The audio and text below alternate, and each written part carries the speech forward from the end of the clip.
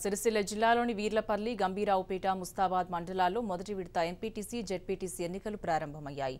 నాలుగు మండలాల్లో నాలుగు జెడ్పీటీసీ స్థానాలకు పంతొమ్మిది మంది అభ్యర్థులు పోటీలో ఉన్నారు.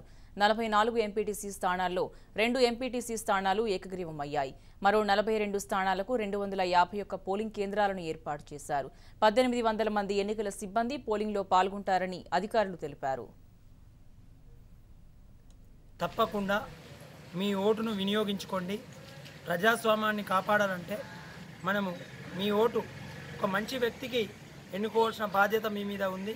ప్రతి ఒక్క పౌరుడు కూడా ఓటు హక్కును తప్పకుండా వినియోగించుకోవాలని ప్రజాస్వామ్యాన్ని కాపాడాలని రేపు మనం మన సమస్యలు అడగాలంటే ముందు మనం ఓటు వేయవలసిన అవసరం మనకు ఎంతైనా ఉంది కాబట్టి తప్పకుండా ప్రతి పౌరుడు ఆలోచించి ఓటు వేయాలి ఓటు హక్కును వినియోగించుకోవాలని కోరుతా ఉన్నాను.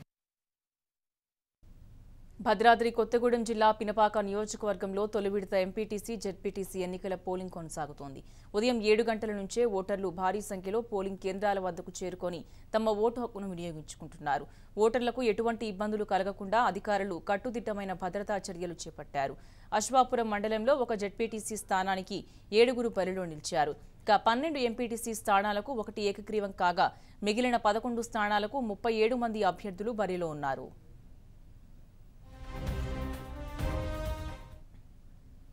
భద్రాద్రి కొత్తగూడెం జిల్లాలో తొలి విడత ఎంపీటీసీ జెడ్పీటీసీ ఎన్నికల పోలింగ్ ప్రశాంతంగా జరుగుతోంది.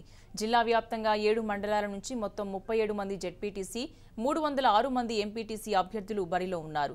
నాలుగు వందల నలభై మూడు పోలింగ్ కేంద్రాల్లో పోలింగ్ కొనసాగుతోంది. మొత్తం వెయ్యి రెండు వందల ఇరవై రెండు మంది పోలీసులు విధులు నిర్వహిస్తున్నారు. మావోయిస్టు ప్రభావిత ప్రాంతం కావడంతో సాయంత్రం నాలుగు గంటల వరకు మాత్రమే పోలింగ్ జరగనుంది.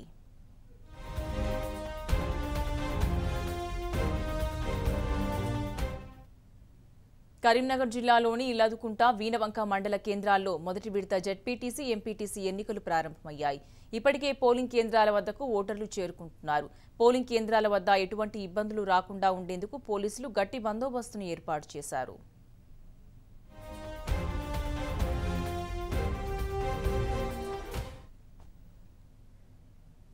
మేడ్చల్ జిల్లాలోని ఘట్కేసర్ మండలంలో ఉదయం ఏడు గంటల నుండే జిల్లా పరిషత్ ఎన్నికలు ప్రారంభమయ్యాయి. పోలింగ్ కేంద్రాల వద్దకు ఓటర్లు భారీగా చేరుకుంటున్నారు. ఎలాంటి అవాంఛనీయ సంఘటనలు జరగకుండా పోలీసులు పటిష్ట బందోబస్తును ఏర్పాటు చేశారు. ఇప్పటికే పోలింగ్ కేంద్రాల వద్దకు ఓటర్లు భారీగా చేరుకుంటున్నారు.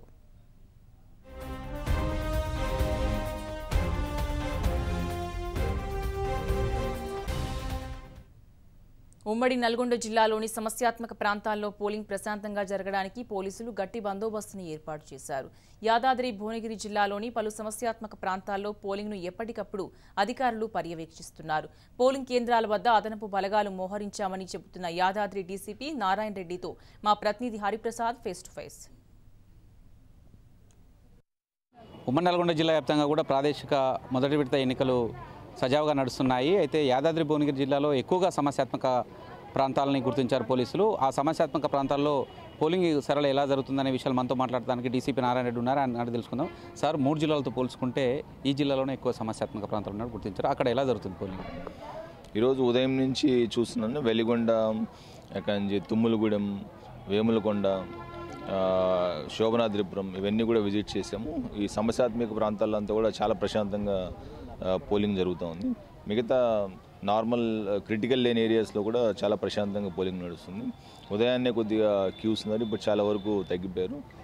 ఆ, ఇప్పటి వరకు అయితే చాలా ఏరియాస్లో ఒక twenty five percent thirty percent మధ్యలో పోలింగ్ రికార్డ్ అయింది. అంతా కూడా సజావుగా నడుస్తుంది. అంటే సమస్యాత్మక ప్రాంతాల్లో మీరు ఏమైనా సూచనలు చేశారా? అక్కడ ఉన్న ఓటర్స్ కానీ అదేవిధంగా అభ్య- అభ్యర్థులకు? అక్కడున్న ఎస్పెషల్లీ మా రూట్ మొబైల్స్ అట్లాగే ఇక్కడ ఎవరైతే ఇన్ఛార్జెస్ ఉన్నారో ఏసీపీస్ ఇన్స్పెక్టర్స్ వీళ్ళందరూ కూడా సమస్యాత్మక ప్రాంతాలు ఎన్నిసార్లు వీలవుతాయి అన్నిసార్లు టచ్ చేసేట్టు.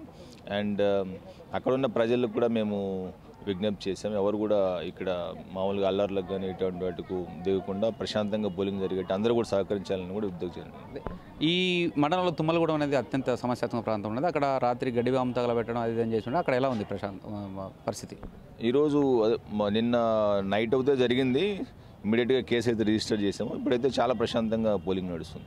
ఓవరాల్గా జిల్లా వ్యాప్తంగా కూడా ఈ మొదటి విడత ప్రాదేశిక ఎన్నికలు మీ సిబ్బంది ఎంతమంది పనిచేస్తున్నారో? ఎలా ఉన్నాయి? మా సిబ్బంది దాదాపు ఈ మొదటి విడత ఫస్ట్ ఫేజ్ పోలింగ్లో ఆల్మోస్ట్ నైన్ సెవెంటీ వరకు ఇక్కడ మేము డిప్లాయ్ చేయడం జరిగింది. సఫిషియెంట్ ఫోర్స్ ఉంది. చాలా బాగా ప్రశాంతంగా జరుగుతుంది పోలింగ్. సమస్యాత్మక ప్రాంతాల్లో ప్రశాంతంగా జరగడానికి మీరు ప్రజలకు అదేవిధంగా ఇప్పుడున్న అభ్యర్థులకు ఇచ్చే సూచనలు ఏమైనా ఉన్నాయా? ఎవరు కూడా ప్రజలు కానీ లేకపోతే అభ్యర్థులు కానీ ఎవరు కూడా ప్రజ అభ్యర్థులు ఎస్పెషల్లీ ప్రజల్ని భయభ్రాంతులకు గురి చేయకుండా వాళ్ళని ప్రలోభాలకు లొంగనీయకుండా ఎవరు కూడా ప్రశాంతంగా ప్రజలందరూ కూడా నిర్భయంగా బయటకు వచ్చి ఓటేసుకోవాలని అందరినీ కూడా మేము పిలిపిస్తున్నాం. పోలింగ్ కంప్లీట్ అయిన తర్వాత బ్యాలెట్ బాక్సులను తరలించే క్రమంలో ఎటువంటి సెక్యూరిటీ ఫాలో అవుతున్నారు?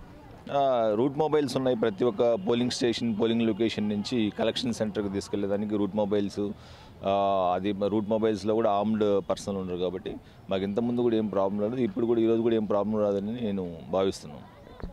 ఇది ఎలక్షన్ అయిపోయిన తర్వాత కూడా స్ట్రాంగ్ రూమ్లోకి పంపించడానికి బలగాలు ఎక్కువగానే ఉన్నాయి. అదేవిధంగా ఎక్కడైతే సమస్యాత్మక ప్రాంతాల్లో ఆ సమస్యాత్మక ప్రాంతాలలో మాత్రం వీలన్ని సార్లు రూట్ మొబైల్స్కి సంబంధించిన సిబ్బంది టచ్ చేస్తున్నారని కూడా డీసీపీ నారాయణ రెడ్డి చెప్తున్నారు.